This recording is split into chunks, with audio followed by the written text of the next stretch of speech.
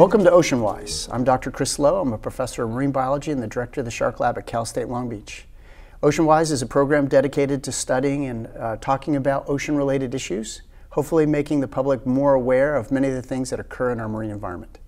So today we're going to talk about beach safety, and I'm very fortunate to have Lieutenant Claude Panis here from the Huntington Beach Lifeguards. Claude and I have worked together a number of times Many on years. a variety of issues, and today we're going to talk about various aspects of beach safety. So um, obviously people go to the ocean to recreate. Um, many of them may come from kind of remote places, places centralized in the country. They're used to being in pools and ponds. And, and I think a lot of times people don't understand that the ocean's a wild place. Yeah, we get a lot of visitors from all over, out of state, out of the country, and uh, Huntington Beach has become a kind of a destination now. So a lot of the people there aren't really familiar with the, the ocean or uh, beaches in general. Uh, a lot, a lot of what people think when they come to the beach is that it's a big swimming pool, and we really try to discourage uh, people from thinking that by educating them. They need to understand that the ocean's a very dynamic environment. It's not like a swimming pool. There's not a shallow end and there's not a deep end. There are currents, there are waves. There's a lot going on in the ocean that if you're not aware of could actually get you into a lot of trouble. So most of the time people think when they go to the ocean, the biggest thing they have to worry about are the animals that live there, right? And obviously we share beaches with a lot of marine life that also call that their home. But it's really not necessarily the animals are the things that people have to be most concerned about when they go to the beach. So what are the biggest challenges that you face as a lifeguard for people when they come to your beaches? Yeah, first off, when people come to the beach, they need to realize that they're entering a wilderness area. It's just the same as if you went to the mountains and went into a forest, you might see a bear. Well, you may see some wildlife there. In fact, you're probably going to see wildlife there because it's teeming with wildlife. Uh, we always recommend that you give the wildlife its distance, just like you would in the mountains, and stay away. If you see something like a shark or whatever, report it to the lifeguards, let them know. But what people really need to uh, worry about is not so much the wildlife in there, but they need to worry about what's going on in the water as far as the currents and everything. Uh, over 90% of our rescues are caused by a condition called a rip current. And uh, as far as the sharks and the sea lions and everything in there, they are a small part of what you have to worry about when you come to the beach. Rip current should really be high on the list. So if we could have figure one. So a rip current, just so people know, a rip current is caused by waves pounding on the shore. And of course, you get these sandbars that are formed a little bit offshore, and it causes the water to channel and then rush offshore. So that correct. channel is what's called the rip current, and water can move through there at six miles an hour. Yes. So an Olympic swimmer can only swim how fast? Oh, I don't know. They did. Didn't they have Phelps race a shark once or something? He only do four miles an hour. Bottom line is, you're not going to swim against the current. I don't care how hard you try, even with fins on, you're not going to make it out. So, And that's a big mistake, right? That's Yes. the biggest mistake people try to make is they try swimming against a rip current, and then what happens? well, what happens is they get, eventually get tired. You know, you, what you have is you have these waves washing up on the beach, and then the water is trying to seek its own level, so you have gravity pulling it out, and it's going to find the path of least resistance, which turns into a rip current. It's like a, a river of water. It's like if you jumped into a, a river in the mountains and tried to swim upstream against the river. You're not going to go very far. The only thing you're going to do is tire yourself out, which is going to make the situation even worse. So people need to be aware of where the rip currents are, how to, they spot them, and uh, what to do if they get into a rip current.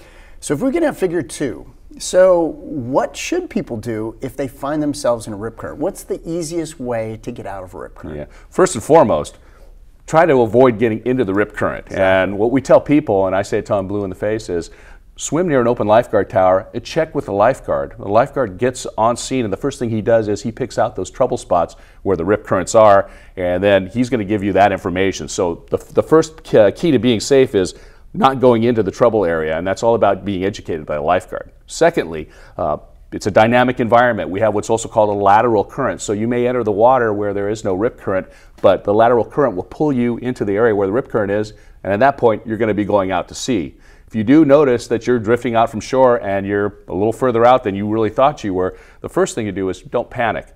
Relax, and if the lifeguard's watching, they're probably going to contact you before you get too far out or you know remove you before you get in the rip current. But if you want to put your hand up, wave the lifeguard, let him know, hey, I need assistance, that's it. But the bottom line is to stay calm. If you have swimming ability, which we highly recommend, everybody learn to swim. you know. Absolutely. I had my kids in swim lessons at a very young age. But if you do know how to swim, look at the shore, swim parallel to shore. In other words, you're not going to swim up against the current, you're going to swim sideways out of the current. Once you're out of the current, now you can take a direct path to shore and you're going to have a, a lot better chance of making it back into shore. So, about how many rescues do you perform a year just at Huntington Beach? Yeah, we're probably just shy of 10,000 rescues on, on, a year. So, you know, we go out quite a bit. We get a lot of people because our beach has a lot of parking, and we also are a southwest facing beach. So, right. we've got the south swell coming in in the summertime, west swell coming in in the wintertime, and it just it's it's surf city for a reason. It's because right. we constantly have surf. And anytime you have surf, you're going to have currents and you're going to have rip currents. So, it really is a formula for a lot of activity on our beach. So, aside from ocean conditions, obviously there are animals that people will interact with when they go to the beach. And probably the most common ones in Southern California that can cause injury to people are stingrays. So, um, if we can have the next figure. So, there are about three different species of stingrays found on Southern California beaches. So there are bat rays, there are butterfly rays, and there are the round stingray. So the round stingray accounts for the bulk of most of the stingrays we find here. And their behavior for avoiding predators is to bury themselves in the sand and hold their breath as something goes by. Well, of course, as people are tromping around there and they accidentally step on the ray, the ray will defend itself by flicking up its tail and sticking them. So people say that I got stung by a stingray. But what they've actually been is their leg has been perforated by a modified spine that has a toxin on it. And it is extremely painful.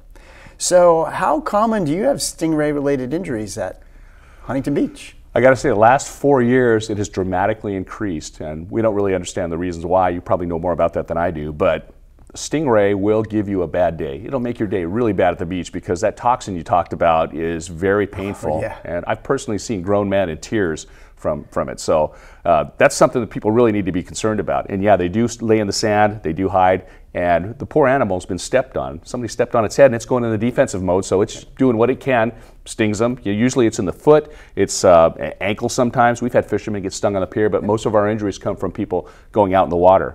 Again, check in with the lifeguard at the tower. You know, swim near the lifeguard tower, check in with them. He's going to warn you if uh, the stingray action is up, and it's driven by several conditions. We can almost predict when we're going to have stingrays, but he's going to tell you know tell you where to go or tell you what to do. Uh, one of the, the biggest things we tell people is to do the stingray shuffle. Shuffle right. your feet on the bottom as you're going out so you don't step on top of the stingray. You're kind of warning it that you're showing up, and the stingray doesn't want to sting you. He's going to swim away and go somewhere else. So that's one of the biggest things that we tell people. Great.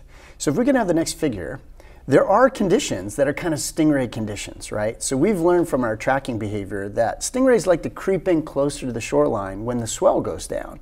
And of course, when it's low tide and, and it's really warm, those rays are in trying to feed in areas that they normally couldn't feed because they don't like to be right in the surf. So you must see a big spike in injuries during those conditions. So what do you tell the public when you experience when we know those conditions are coming? Yeah, well, when we have the, the typically it's driven by the low tide, and what I think it is is that you have people going in the water, and the conditions being down bring the stingrays in, but it also looks less intimidating to the average person that's going to go out and swim. You know, you get to the beach and you see big four to six foot waves. Some people at voice is going to tell them, I don't want to go out in the water today, but when it's calm and it looks more like a swimming pool, people are more apt to go out and go in the water.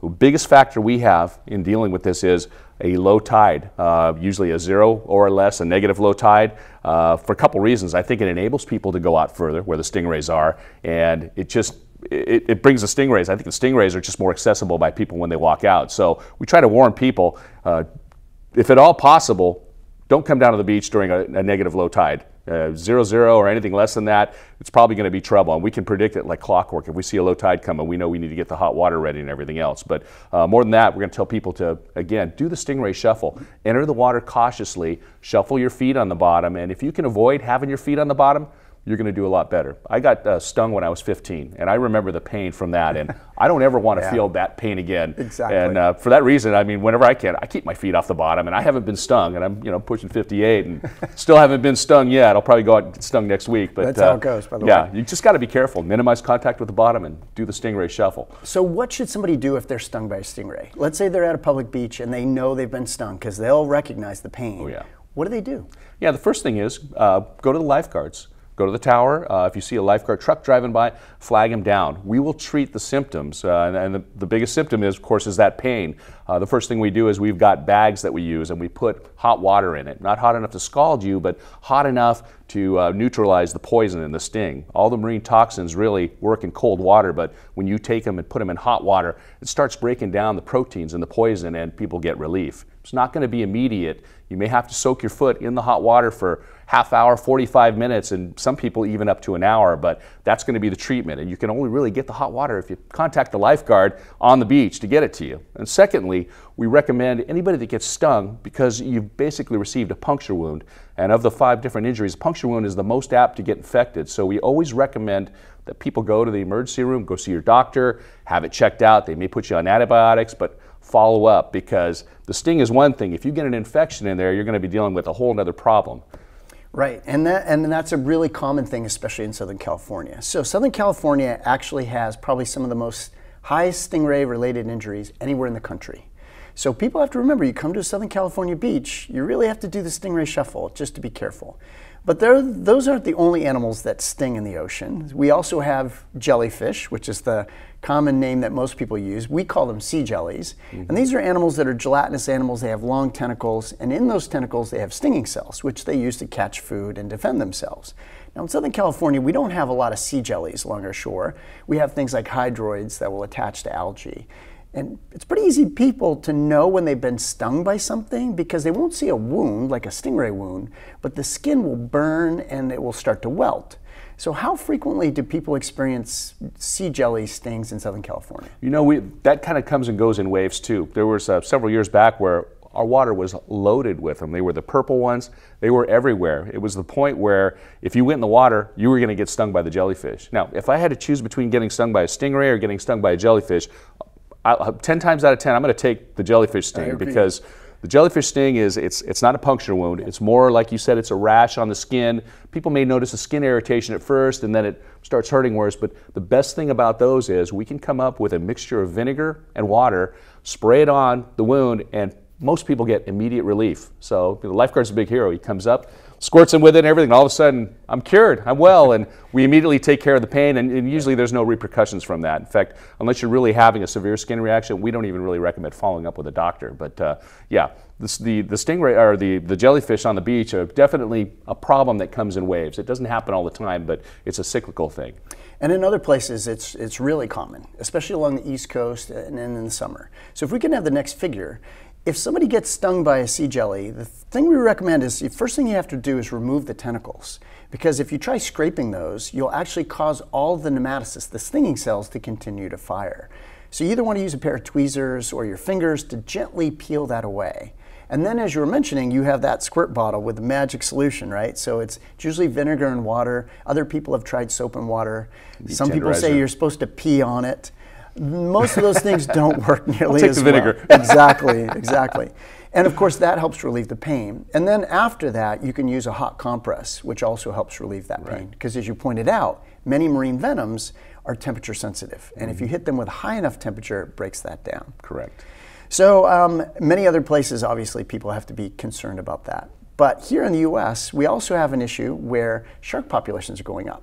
So as our shark populations are going up, and a lot of that's because we've done a better job at managing our fisheries, we've done a better job at basically protecting certain species, and a great example of that are white sharks. And in Southern California, they use our beaches as a nursery habitat. So it's kind of remarkable. This is one of the few places in the world where you can go and be at a public beach and actually see a juvenile white shark. That isn't always something that people cheer about right? So the idea of having all these young white sharks along a public beach can cause a lot of public concern.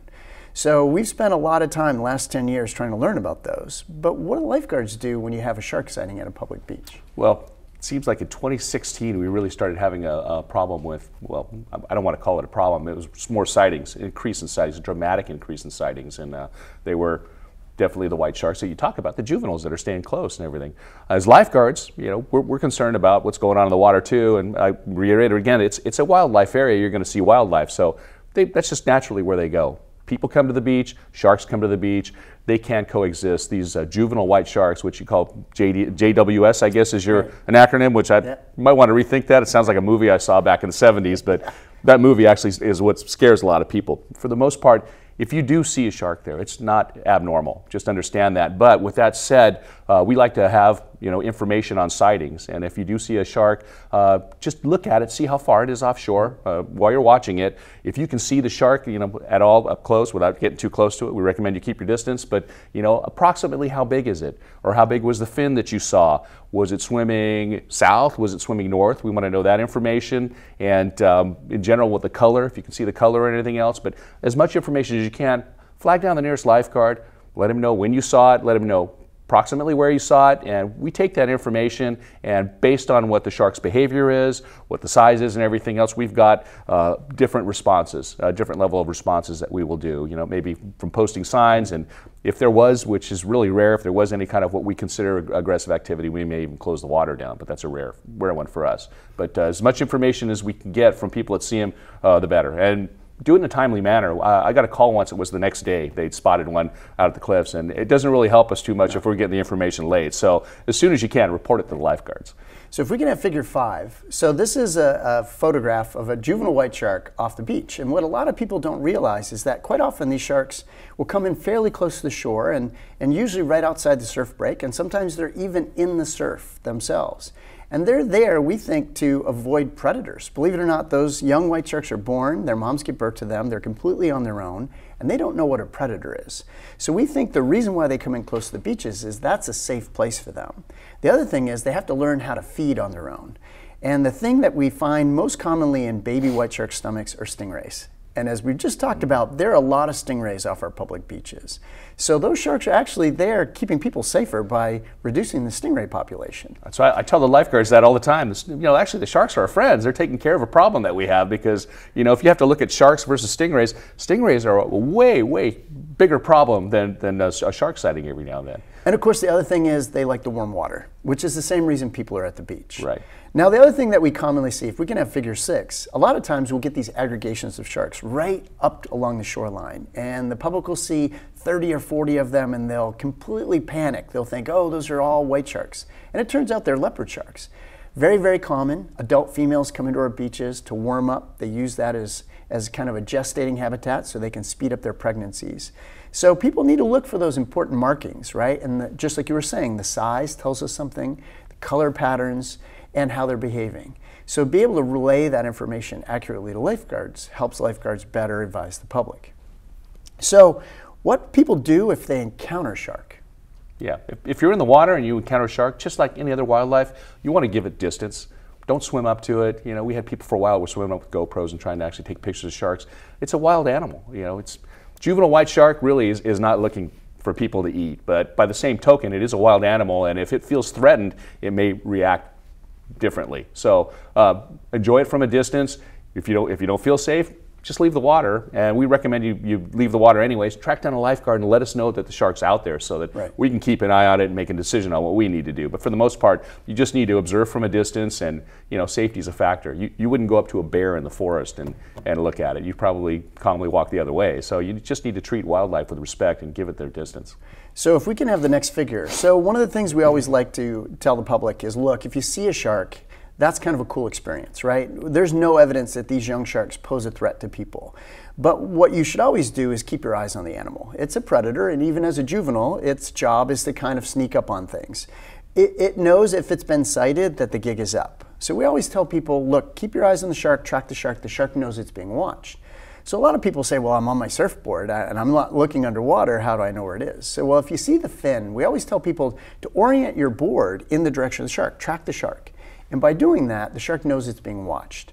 So these are some really basic things that people can do, as well as stay in a group, right? So if you're out surfing, surf in front of a guard shack. Uh, you're swimming, swim in a group. There's always safety in numbers. Even though these young sharks really don't pose a threat to people, it's better to be safe and just stay in a group. And that's one of the things we always recommend. Don't ever swim alone. Get a buddy with you, go out in a group, have people around. If you get in trouble, there's going to be somebody there that can go get you help. So, yeah, for that reason, don't swim alone. And yeah, you're giving me a lot of good information. Uh, you know, we see sharks all the time, and you know, just pointing at them and letting the shark know that you know he's there, and probably going to move on. You know, they're they're young animals. It looks like they're curious. They may they swim up to. Uh, we've had surfers in the water see them swim towards them. As soon as they realize it's human, they're gone, never to be seen again. So I think it's just a curiosity factor with these young juvenile white sharks. They're swimming up and just, you know, they're curious. It's, it's a baby. Right. Things new to the world, everything's new, and I think that they're checking out and trying to be safe by being in the surf, but they're also going to be around people and they're going to be a little curious, but they're in no ways are they going to be hunting people down. So one of the other challenges we have with sharks and marine mammal populations coming back, which are really conservation success stories, is that as those numbers recover, more of these animals that get sick start showing up on public beaches. And that's rare. So normally we don't see sick animals kind of, kind of coming up on a beach. So that's called stranding. Mm-hmm. So sick sharks will do that, sick marine mammals will do that, and they will actually wash up on the shoreline. And the public obviously feels sympathetic for them and they want to rescue them and push them back out to sea.